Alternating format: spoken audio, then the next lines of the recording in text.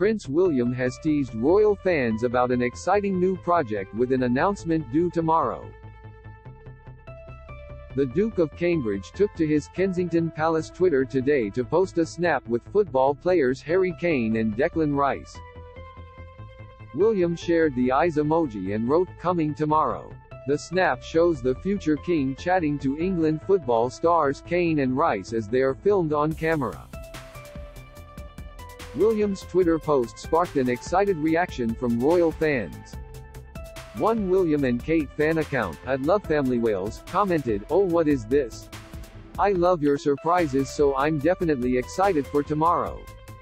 Prince William has teased royal fans about an exciting new project, Image, Kensington Palace.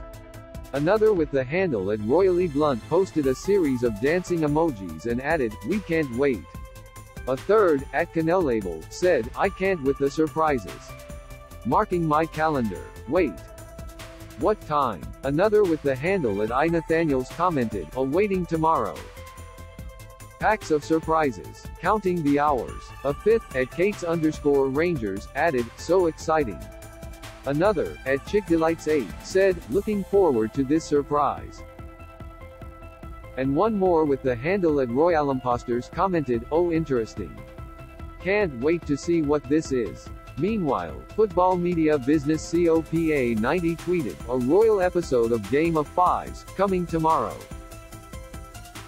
William, who is president of the Football Association, has previously used football to raise awareness of mental health.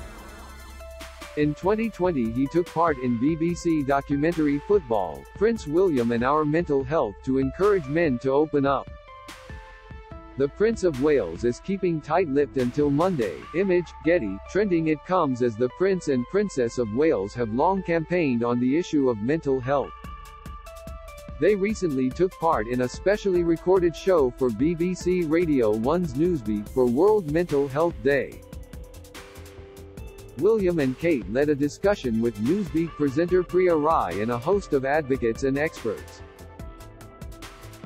The heir to the throne said, A lot of the work we've done on mental health and listening to lots of people talk about it, everyone likes a toolbox, particularly men. A toolbox is quite a useful analogy to kind of use. A lot of people don't realize what they need until it actually comes along. You can be living one life one minute and something massively changes and you realize you don't necessarily have the tools or the experience to be able to tackle that.